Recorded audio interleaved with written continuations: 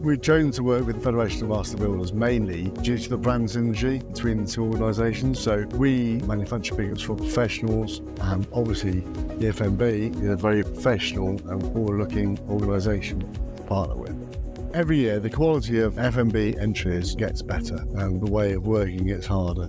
So We've really enjoyed working with the FMB and the members in terms of its quality synergistic relationship where we deliver the products in the industry and the industry delivers the best value to clients.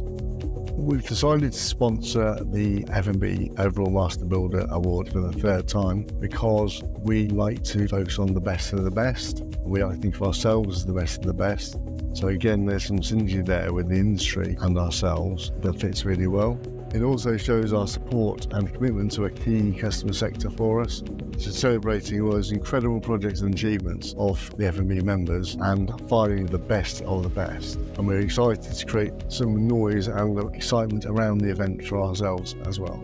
Good luck to all of you, and I hope that you will have a good shout of doing it. I'm looking forward to seeing all the exciting projects that become finalists. This is the third time we've done it, and every time it seems to get harder to find a winner.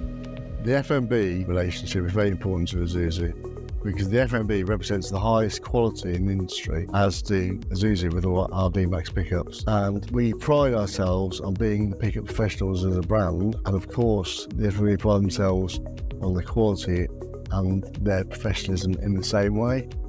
So there's a great fit between Isuzu and the FMB.